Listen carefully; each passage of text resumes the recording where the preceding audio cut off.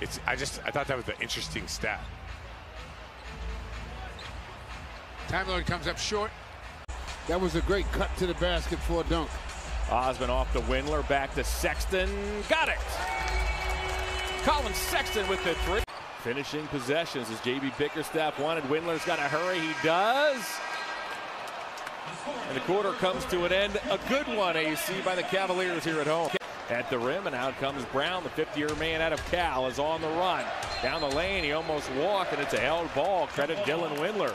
Yes. For hanging in there defensively. Brown at 6'6", Windler uh, listed at 6'7". Both men mistimed it a touch, and it's batted it back to Tatum. Windler has checked in. He opens up this fourth quarter with Osman, Wade, Sexton, and Nance. A steal by Tatum. Off he goes. Tatum upstairs for Williams, who got undercut. And to receive this year's face mask giveaway, it's presented by Cleveland Clinic. You can claim your face mask by placing a $50 deposit on a Wine and Gold United membership